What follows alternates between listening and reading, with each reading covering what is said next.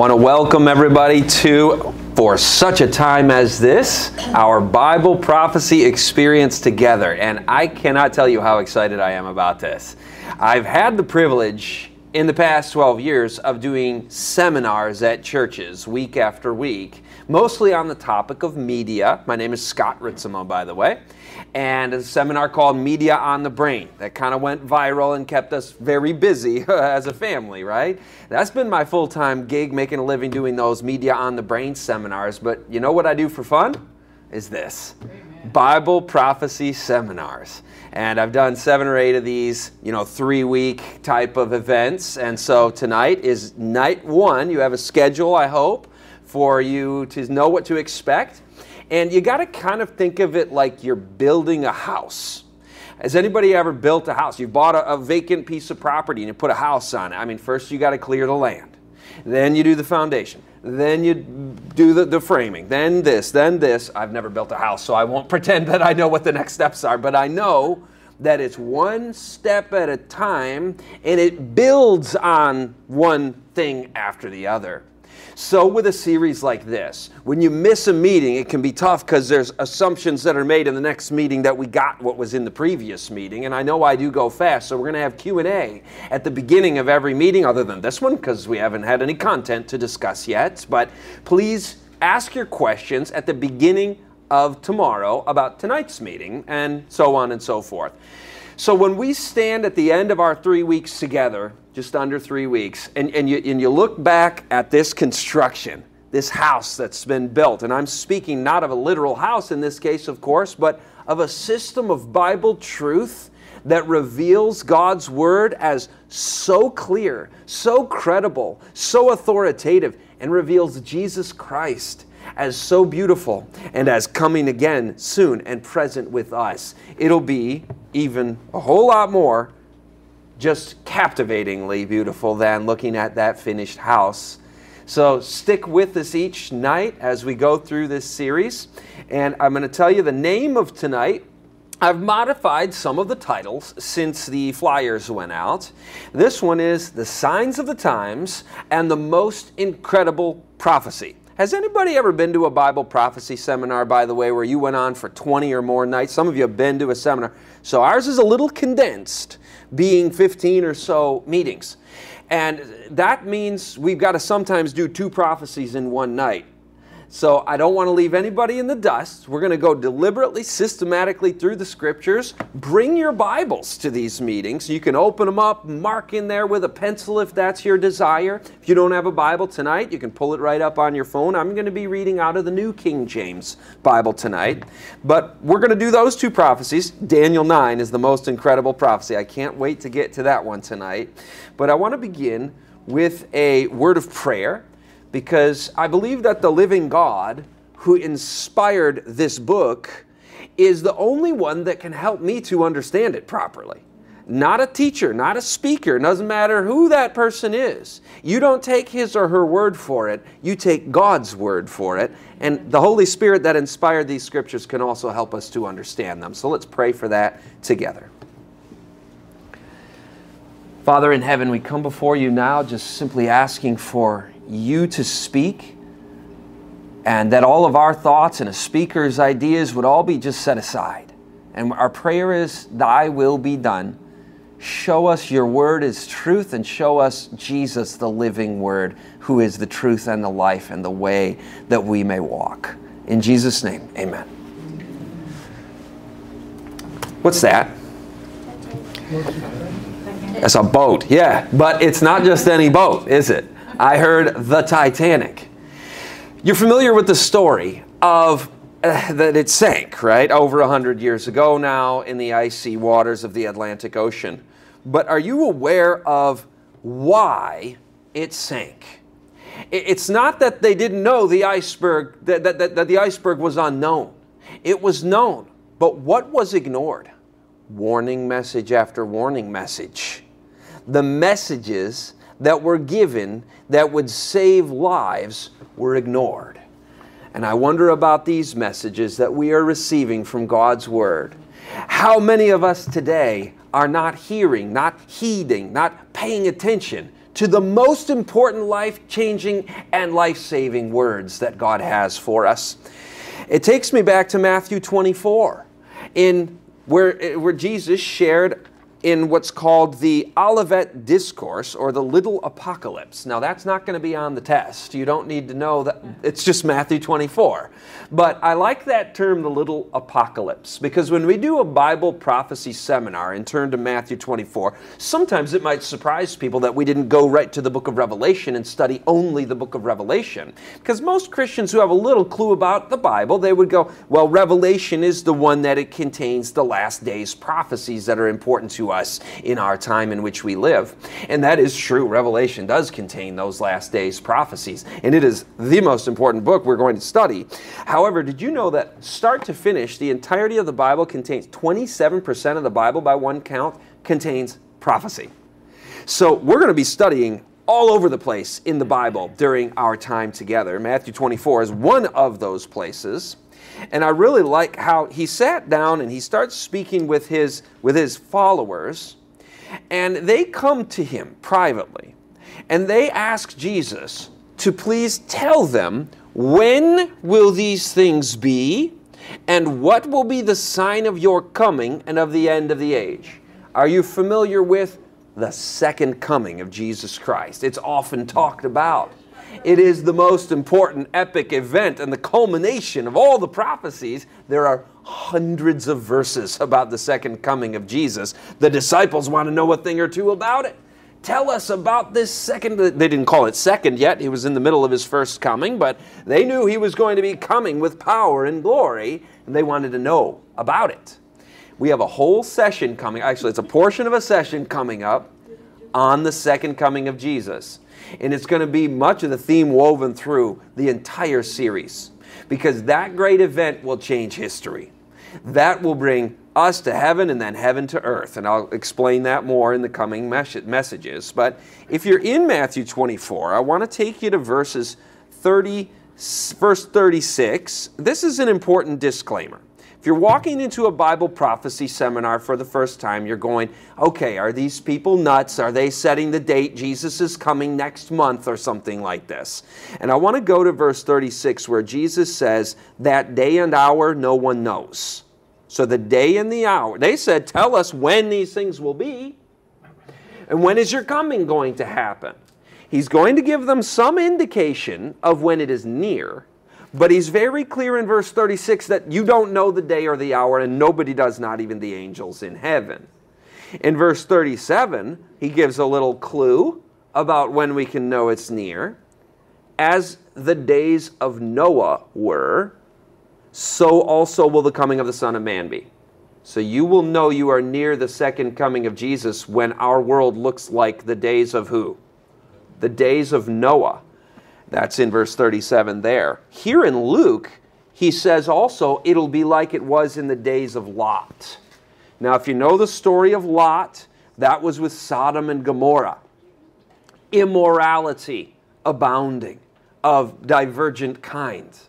Noah's day, the only thoughts of mankind were only evil continually.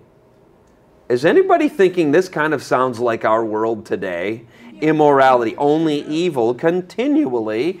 And the earth was filled with what in Genesis 6, verse 5? Do you, do you know the story of Noah? Some of you know your Bibles. For those of you, this is new to you, you know about Noah and the ark probably, but did you know the earth was filled with violence?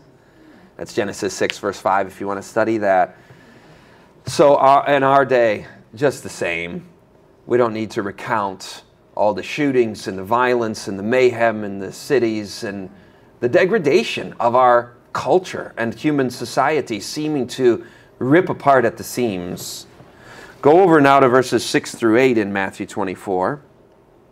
I want to actually start with verse 8, where Jesus says, These are the beginning of sorrows. Now, I'm reading out of the New King James. Some translations put that as the beginning of birth pangs. So the signs of the times, as they've been called, the, the indicators in our world that show that Jesus' second coming is near, are going to be like, what did he say? Like birth pangs.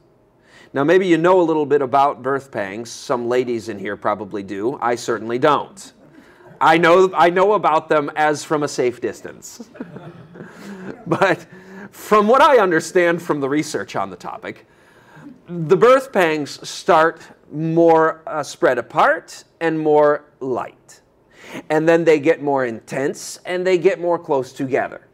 So when we study now verses 6 and 7, we should say, okay, we're going to expect these things to be increasing in their frequency and in their intensity as an indicator that we are getting to the birth moment, the second coming of Jesus. Let's read verse 6. Here are some of the signs that will be like birth pangs. And you will hear of wars and rumors of wars. See that you are not troubled, for all these things must come pa to pass, but the end is not yet. For nation will rise against nation and kingdom against kingdom. So set that one on the shelf in your memory. We're going to come back to it. Wars and rumors of wars, nations rising against nations. And then he goes on and says that there will be famines. There's a second one. Pestilences. That's diseases. And earthquakes in diverse places.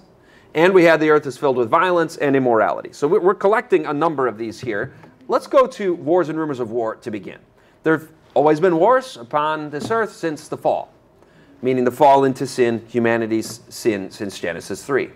But the 20th century was unique. Over 100 million people died in wars in the 20th century, more than all centuries previous combined. And then after that, we had a Cold War with plenty of rumors of war and some actual hot wars during the Cold War period of Vietnam and Korea. And now, talk of World War III is at an all time high. President Biden said a year or so ago that we've had a relatively peaceful world since the end of World War II. He called it a liberal world order. But he said that that period is transitioning and giving way to a period of what he called a new world order, where wars and tens of millions of people, that's not quoting him, but that's what this would be if we were in a World War III scenario. Are we in World War III? Well, perhaps not, but there are rumors of it, aren't there? And so that one fulfills prophecy as well. Famines, that's another one on your list, right? Do you know there's a billion hungry people in the world today? According to Oxfam International, those facing famine like conditions in the year after lockdowns during COVID, those facing famine like conditions of hunger were sixfold what they had been previously. Um, even before the lockdowns and those disruptions in supply chains and so on, one child dies every five seconds from hunger related causes. Is that not heartbreaking? This is fulfilling prophecy. We've never seen these kinds of vast numbers. In 2008, almost 3 million children died before their fifth birthday due to hunger and malnourishment. And these numbers, kinds of numbers, continue. I just happened to pull that one from 2008. Pestilences. You know, when I was doing these seminars before COVID, we would list all of the diseases that are scourges upon the earth. It's almost an unnecessary exercise at this point because now we know fully in our face the significance of pestilences or diseases in our world. And now they are discussing at the World Economic Forum right now or this past week disease X and how to prepare for disease X. AIDS killed 2 million people per year. Heart disease kills 700,000 Americans every year.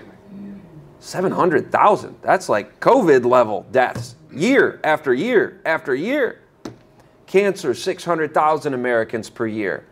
Over two thirds of those age 40 and up in the United States are now either diabetic or would be considered pre diabetic.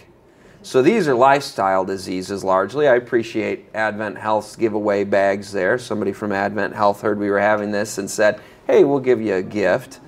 Um, lifestyle medicine is something that's growing in its, in its traction to say maybe we can actually reverse diabetes. We have a message coming up on health too. That one's like message number 12 or something. It's in a couple weeks from now. But these cancer, diabetes, heart disease are uniquely modern scourges and, and pestilences in that respect, in the death toll that they are taking in, in prosperous societies, the death toll of this size at least. I don't remember growing up hearing about Ebola and mad cow and bird flu and Zika and all these scary sounding things and dengue and things I can't even pronounce, but it's the next thing and the next thing and the next thing. When in history have we seen such a collage of pestilences? Earthquakes. There, that's the next one on your list there in Matthew 24, verse 7, right? There have been devastating earthquakes just in our recent years, in the last couple of decades. Can you name some of the countries? Yeah, so many of them. It's hard to. Nepal, China, Chile, Iran, Indonesia, New Zealand, Pakistan, Mexico. Uh, it goes on and on. The one in Pakistan killed 80,000 people. That was back about 19 years ago. The one in China killed 70,000 people in 2008. Haiti, I forgot, 220,000 people killed in that earthquake. This kind of thing didn't used to happen like this. And there were earthquakes, don't get me wrong, but the death toll from them, their impact on human society, which is what the prophecies have in view, is human redemption, is significant. Mexico's devastating 7.1 earthquake made headline news, but that, since it had a big impact of destruction, but what a lot of people didn't know is there was one 10 times stronger at 8.1 just the year before that. The biggest earthquake in modern Mexican history happened just a few years ago. Now, I find the, the language here interesting. It says the earthquakes will be in diverse places.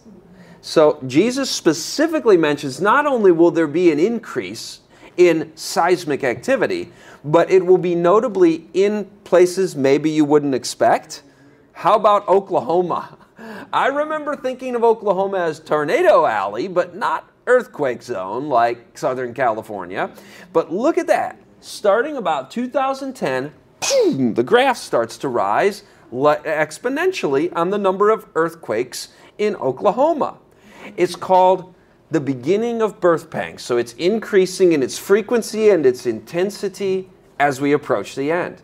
Now, I've, i remember hearing the skeptical viewpoint on this, which I appreciate. We should always question everything we hear in the media and elsewhere and measure it by, first and foremost, God's Word and the biblical standard, and in addition to that, rational scientific methods. So, wow, you know, the earthquakes haven't been increasing. It's only that the, the impact of them. Well, I think that's still a fulfillment of prophecy. But I wanted to go on usgs.org.gov, U.S. Geological Survey, and see have earthquakes actually been increasing. So I picked 6.0 or higher as my test because if you go with too low of an earthquake, then it will give you a false read of increases of them because our testing equipment has improved and it can pick up the smaller earthquakes with more sensitive equipment. So 6.0 is substantial. That's one that people feel. So in the 1970s, the average number of 6.0 earthquakes or higher per year, in the 1970s, the average per year was 116 of them. In the 1980s, it was 129. So that's up a little bit, isn't it? In the 1990s, it was 154. In the 2000s, it was 161. And the 2010s, it was 165. So each decade seems to be increasing in the number of 6.0 earthquakes, earthquakes or higher per decade, per year rather. Um, this one was a local Oklahoma news uh, graphic, and it showed that of, of, the, of the major earthquakes in Oklahoma, 4.5 and up, can you count how many of those were in the last 15 years or so? Isn't that something like the vast majority of them? There's only a couple that were from decades or a century ago. 10 of the 13 biggest earthquakes in Oklahoma history were in his lifetime, pretty much, my, my boy there. Um, there's another text not in Matthew that speaks of the signs of the times, and it adds one more. I don't know what I'm at here, but Jesus says in Luke 21 25, that also the waves and the seas will be roaring. That's on the screen. The earth, distress of nations with perplexity, the sea and the waves roaring. And so, do you, what do you think of as far as natural disasters when you hear the sea and the waves roaring? You think maybe of hurricanes and typhoons and this sort of thing. Yeah. Now, I remember hearing as a kid about Hurricane Hugo down in South Carolina and Hurricane Andrew down in Florida. I'm from Michigan, which, by the way, we love being in Florida in the winter. Thank you for having us. And this, you know, Michigan is made up of two peninsulas, right? And this one is called the Upper Peninsula, and this one is called the Lower Peninsula. And I do feel privileged to live here because I can tell people where I live by pointing at my hand. That's not a privilege many human beings have. But what we've had to do is say, well, we, we snowbird pretty much down in Florida now, so we are bi-peninsular. And this is the lower peninsula, and this is the upper one for us that might offend our Upper Peninsula friends in Michigan. But what's not humorous is Hurricane Rita, Hurricane Katrina, Hurricane Irma, that I don't even have the slides on for the latest because this PowerPoint is a, a, little dated, but it just keeps getting worse, doesn't it? Um, these were the most damaging hurricanes that I just mentioned in my lifetime, more than the ones that I heard about growing up. And then the biggest natural disaster in American history. What was that one? Do you remember? Hurricane Harvey. Look at this. That's the same picture. The same, that's the highway. That's before and after. This is before and after. Houston, Texas. This happened. Does that not look apocalyptic? Hurricane Irma becomes the most. I meant Ian with you guys from last year, not Irma. Ian, sorry. Luke 21 um, says something very important when we see these things.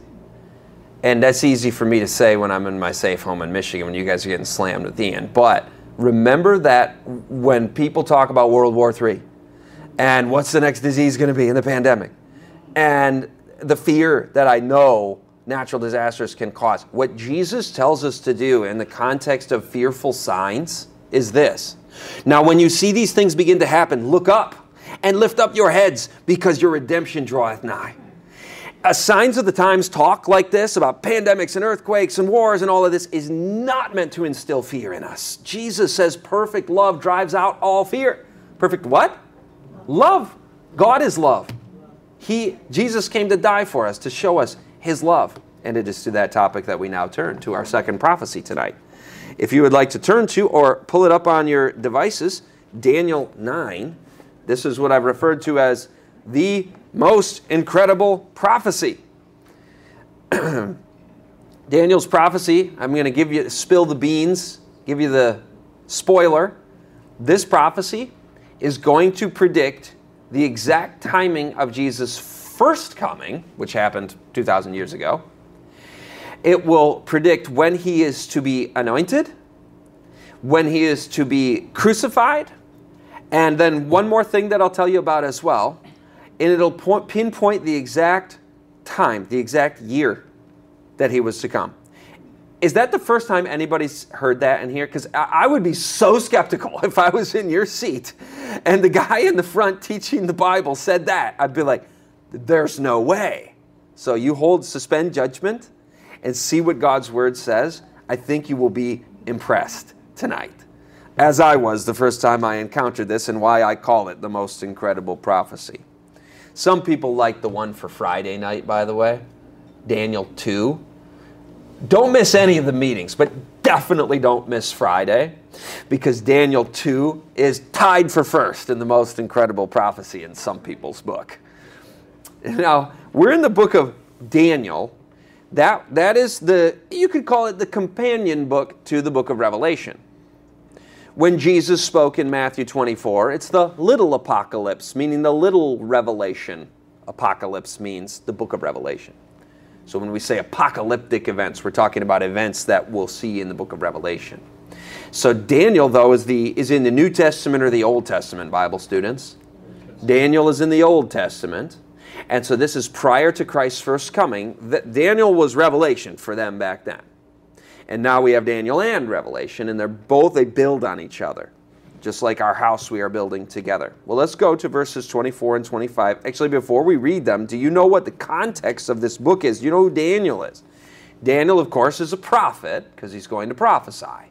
But he's also an important, important figure in the history of God's people. You see, God's people, through the first part of the Old Testament, had had their ups and downs, and mostly downs. Eh, they were often a rebellious people. God gave to the world the Ten Commandments written in stone. One of those commandments was very important don't worship any idols. We're going to talk about all 10 of them, but that was one that the Israelites really struggled with. They just, I don't, I want to be like the world and worship Baal and worship Ashtoreth and worship these gods. And God said, I want you to be my bride. I love you. I want to have an experience in a relationship and be with you. And so many times the Israelites said, No, we want our way, we want our way.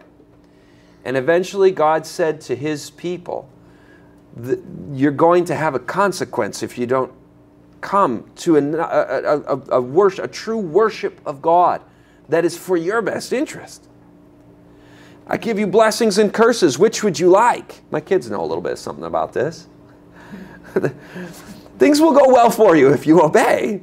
And if you don't, sometimes the consequence has to come in to teach. Have you ever heard of the ancient empire of Babylon? You're going to hear about that Friday night. And I'll give you the spoiler alert for Friday night. The reason Daniel 2 is so amazing is because Daniel is existing during the kingdom of Babylon. That's where the Jews were taken into captivity. That's their consequence. You are going to be marched right out of your city. You're going to be a captive nation in a foreign land called Babylon. Daniel was one of those young captives. You're going to hear more of his story Friday night, but Friday night's message is he's in Babylon and he predicts through the prophetic word that God gives him what that there will be a kingdom that comes after Babylon and then another one and then another one. And you might say, well, that's not that big of a prediction because, yeah, empires follow one after the other. Before Babylon, there was Assyria and there was Egypt. But hold on. There will be some reasons Friday night why you wouldn't expect other ones to follow. Babylon, though. But just granting that, he, he says there won't be another kingdom that follows that one. He's talking uh, hundreds and hundreds of years out into the future. He says the fourth kingdom isn't going to be conquered by another, it will be divided. And then you're going to see history and how that happened. Maybe I'm giving the whole message away right now, but there's more than that even. But how would he know that, the, that it would be divided, not conquered, and then that it would do this, and it would fail at it, and then this would happen?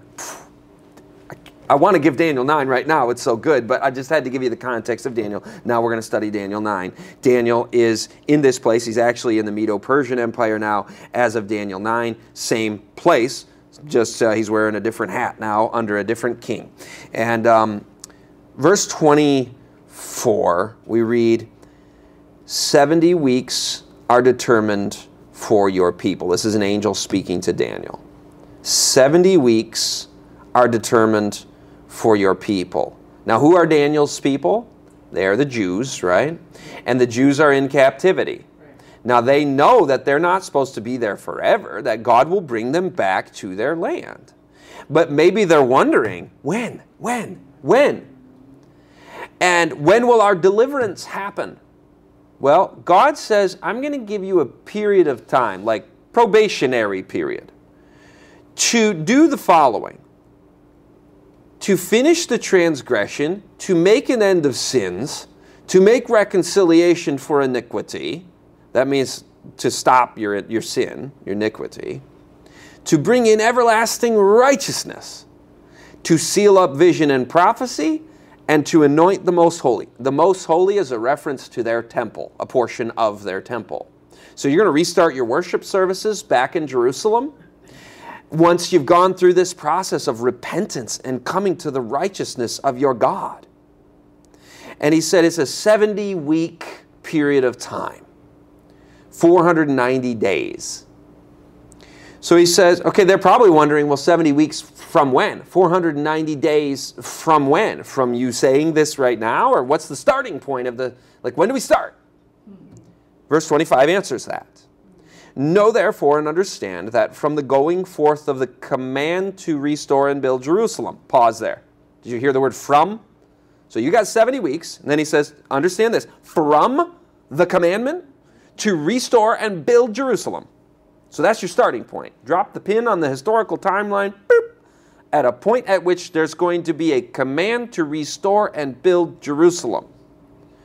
Had this happened yet in Daniel 9? No. He's saying in the near future, there's going to be a command. And when you hear that command, you know the clock starts ticking 490 days. So let's read on now. Eh, oh, by the way, this Persian king is going to issue this command, and then from that point, you guys have 70 more weeks, 490 more days to come to repentance, to get back to Jerusalem and restart your worship system in the most holy place. And in, in the rest of verse 25 at the end, it talks about they're building a street again, building a wall again, is anybody else going, this sounds like it's going to be really hard to accomplish in 490 days? How do you get an entire nation brought back, build streets, build walls, rebuild your temple? You can't do that in 490 days. Okay. Well, for, for, by the way, where did we get 490 days? Because he says here, um, in the beginning, 70 weeks, 70, 77s, some translations say. But then it, in the middle of verse 25, you know what? Let's just pull, let's go back to 25. Let's go to 25. Know therefore and understand that from the going forth of the command to restore and build Jerusalem until what's the next word in your Bible? Messiah. Messiah. That's a big word. That's we know him as Jesus. He was yet future at this point. And from that command until the Messiah, the Prince, comes, there shall be seven weeks and 62 weeks. How many is seven and 62, math students? Seven and 62 equals? Yeah, seven and 62 equals 69. So in 69 weeks, the Messiah will come. This is problematic, isn't it? We got to do some thinking here. That's only like 16 months. And Jesus didn't come 16 months from this command. The Messiah didn't come exactly 16 months from that. So here's here's where studying the whole Bible really helps. When you encounter a text like that and you're going, I have a hard time making sense of this. Go to Ezekiel 4 6 and Numbers 4 13, and you read about how I have appointed thee each day for a what? A year. Each day for a what? Same thing. In Bible prophecy, one prophetic day equals one literal year. You will see this a number of times in several prophetic studies, and it always works. So hold suspend judgment on that. There's some texts on it. So the Bible says that we can do that, we ought to do that, but watch how it works with Jesus' first coming. This is exciting. So let's work this out now. We had the 70 weeks as the whole prophecy. From the pin drop here of that command, you may now go back and restore your city, till the end of your probationary time, Israel, is 490 days, but not 490 days, 400 actual literal years. So that's a probationary period. And then it said it said 7 and 62, 69 weeks, the Messiah will come. So that would be 483 years. Did I lose anybody on the math there? Do you want me to do that again?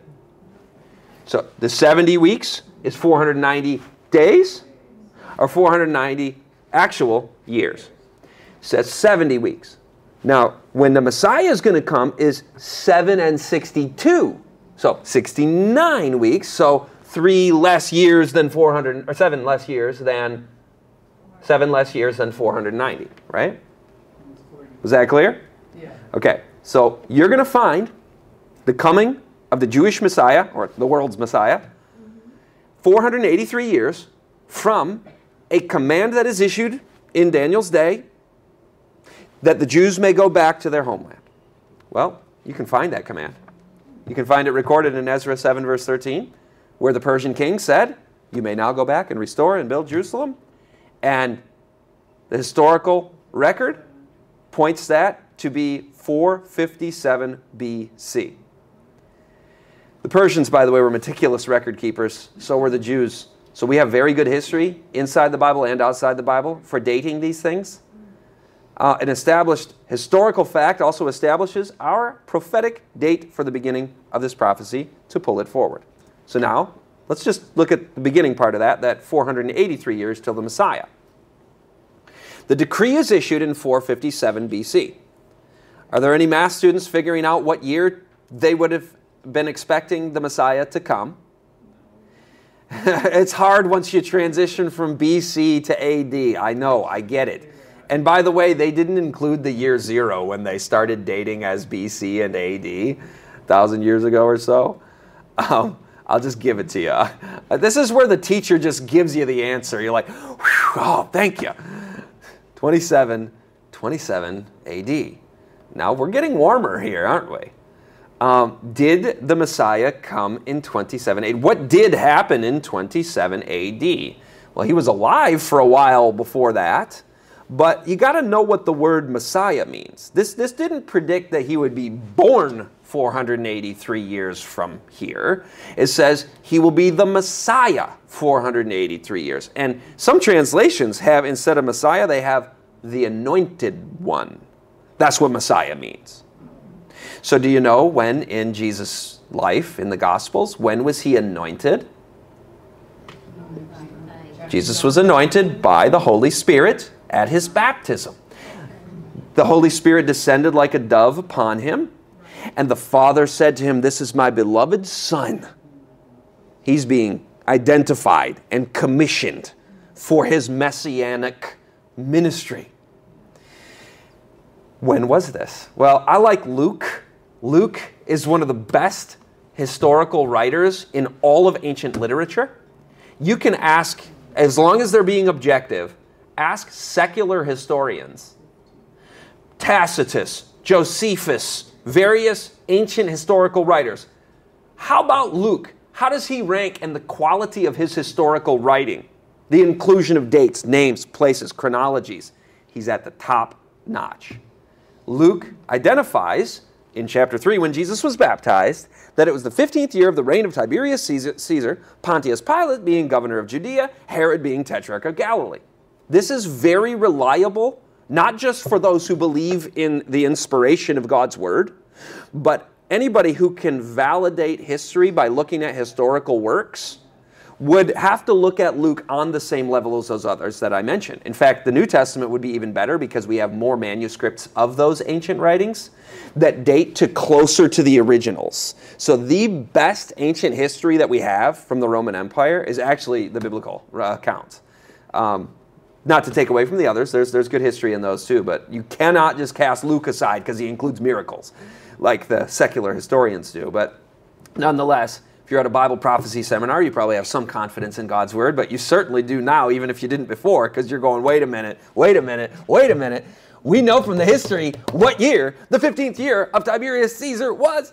It was 27 AD. And Luke just said that was the year Jesus was baptized.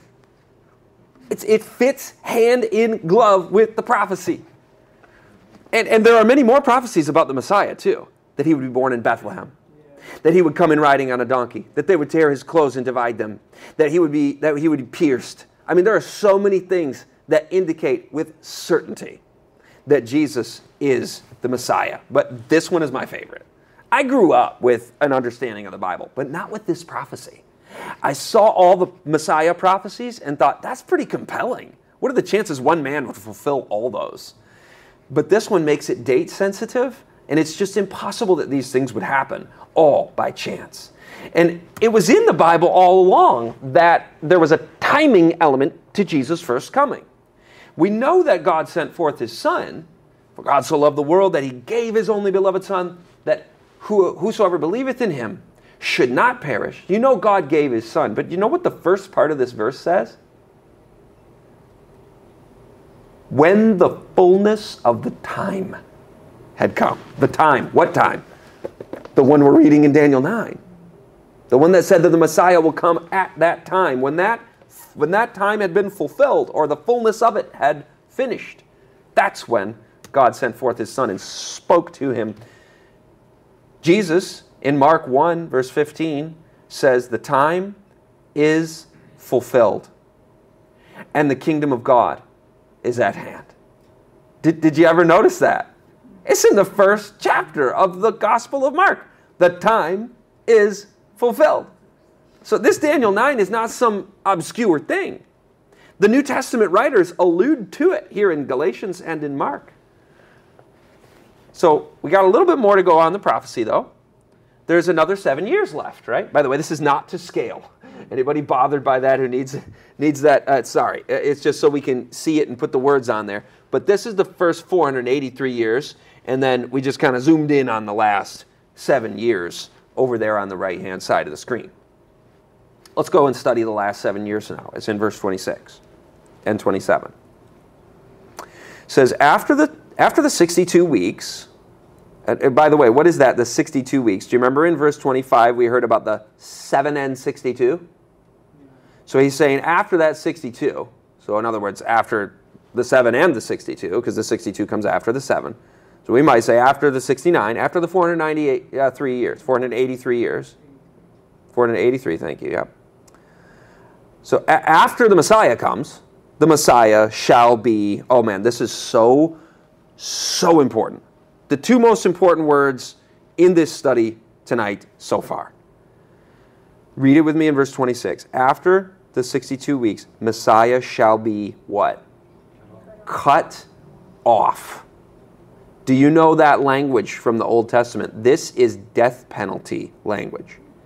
To be cut off from your people was the ultimate death that goes beyond death, a judgment and a condemnation of that sinner.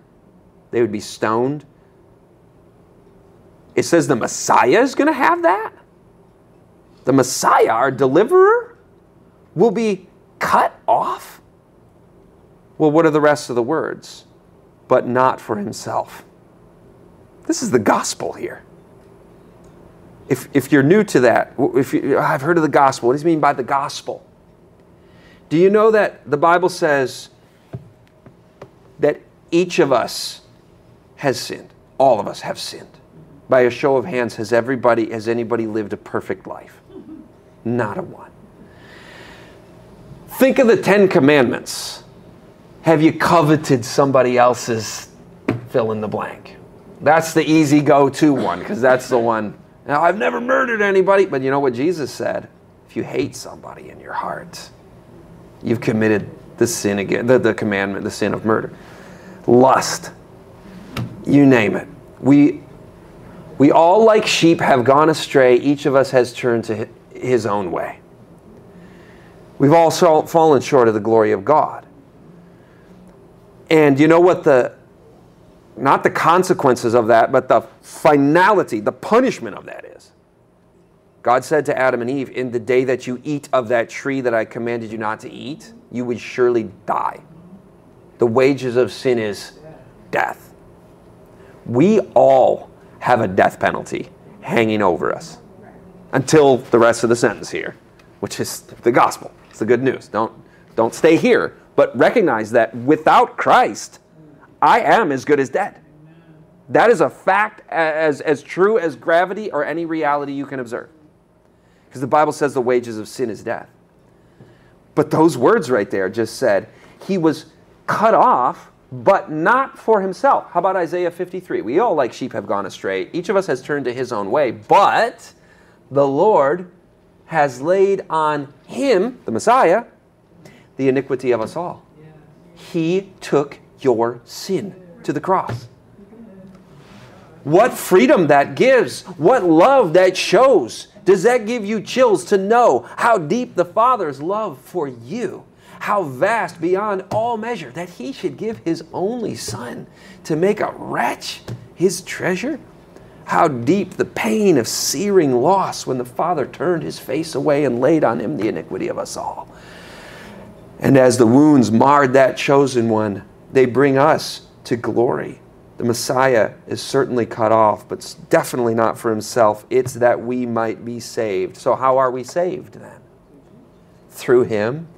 It says, if you confess your sins, this is 1 John 1 9. If you confess your sins, he is faithful and just to forgive you and to cleanse you from all unrighteousness. So I simply confess And then what's the what's the reward of that? That's that's incredible. Well, the wages of sin is death, but the gift of God is eternal life.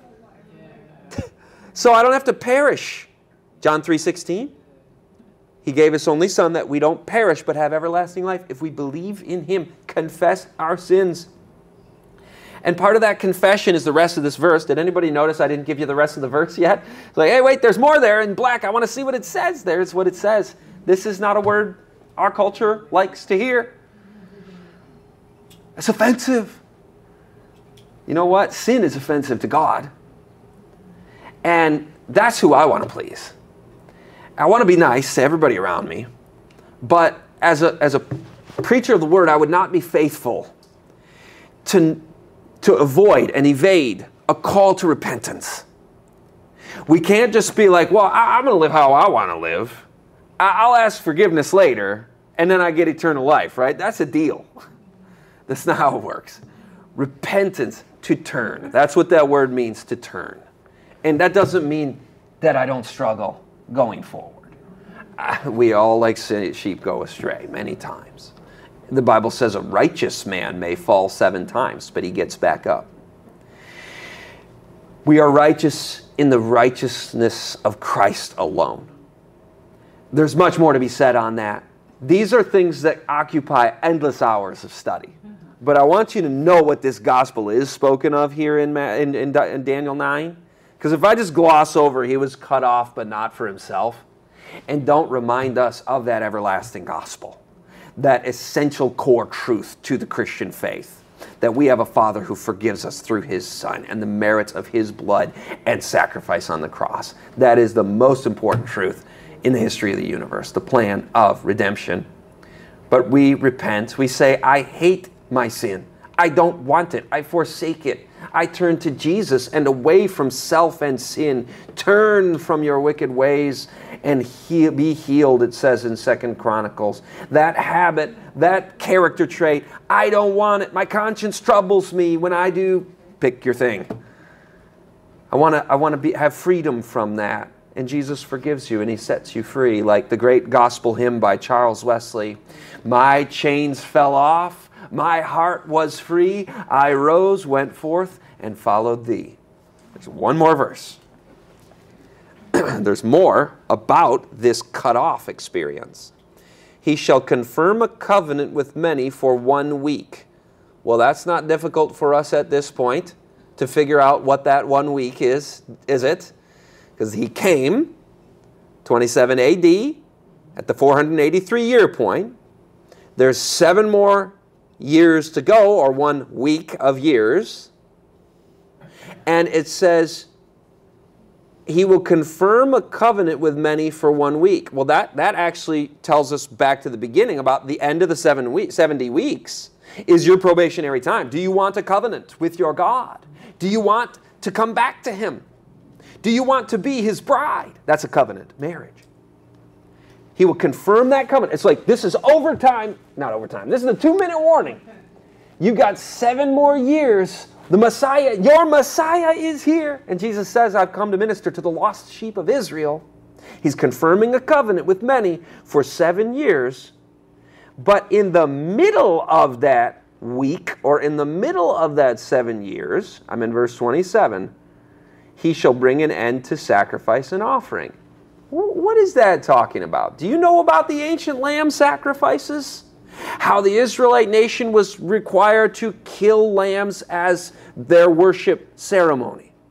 And it was all foreshadowing, prefiguring, symbolizing the Lamb of God slain from the foundation of the world. Jesus Christ, the Lamb of God. John the Baptist said, Behold, the Lamb of God who takes away your sin.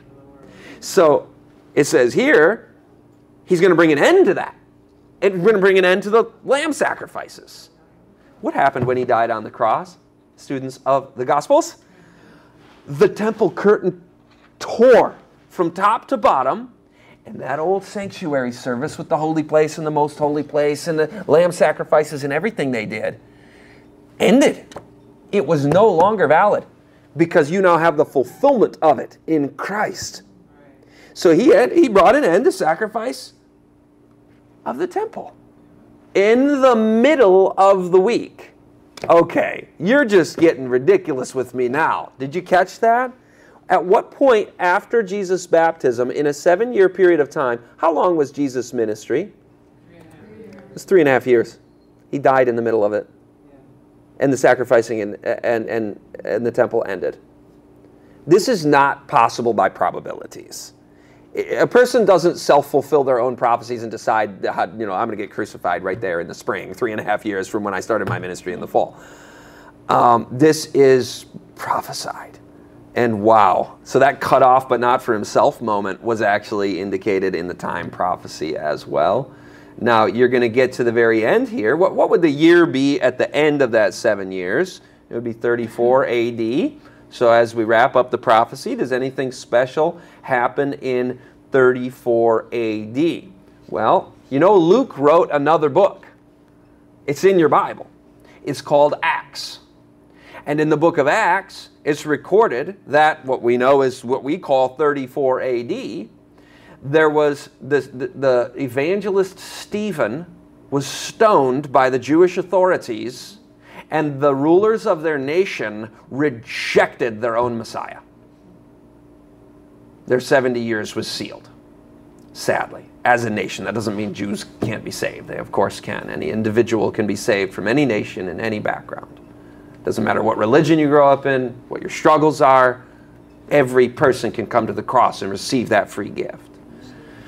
But as a nation, and we'll, we'll study this more another time, their probationary period finished in 34 AD. Isn't it interesting that it just so happened that they stoned Stephen, and then Paul says, I go to the Gentiles. The Gentiles are the non Jews. Incredible prophecy. Was that prophecy clear? Bring questions tomorrow if it wasn't. But as we think about the signs of the times of our world, aren't you glad we have the solution in Jesus? There is no fear. There is no fear. Fear is an illusion. Rest in the peace of the finished work of Christ at the cross. And if Daniel 9 is this clear, then I can know that the prophecies about Jesus' second coming are just, are just as certain. That we will be in a heavenly home in no time. The signs are showing that it's coming soon. Remember that Titanic? Can you believe in 2012 a cruise ship sank? With all the modern techniques we have. It was an Italian cruise ship called the Costa Concordia. It ran aground on rocks just off an island on Italy's west coast. Why? This time it wasn't messages that were coming in that they were ignoring, but it was a simple map that the captain had that he didn't follow. He was casual about it, maybe showing off a bit. Well, you know, this is our map. Minutes after the crash, the emergency lights flickered on. The ship was drifting away from the island, already listing to the port side and the passengers were getting mixed messages. Everything is fine, the, the crew told the passengers. 33 passengers and crew lost their lives.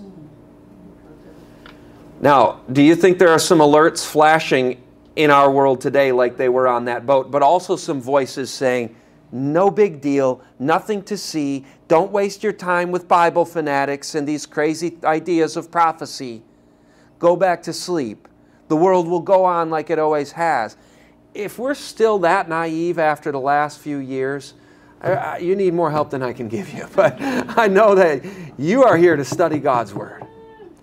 And if there's no other reason to study His Word than just to know Jesus Christ as your Savior now, it doesn't need to be the terrors of the day that is coming that wake us up.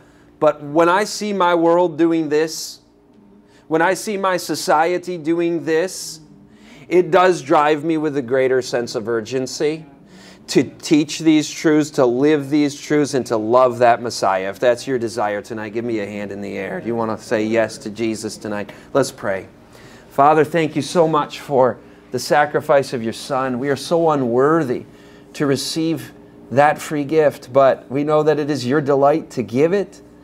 So we simply confess our sins before you and claim the Bible promise that you are faithful and just to forgive us our sins and cleanse us from all unrighteousness. Help us to truly find repentance that you grant unto us according to your word. We can't repent properly in our own strength. We just need to be made willing by your Spirit to truly turn from sin and turn to Jesus. Thank you for that free gift. And as we continue our study together night after night, abide with us and draw us closer to each other and to you. In Jesus' name, amen.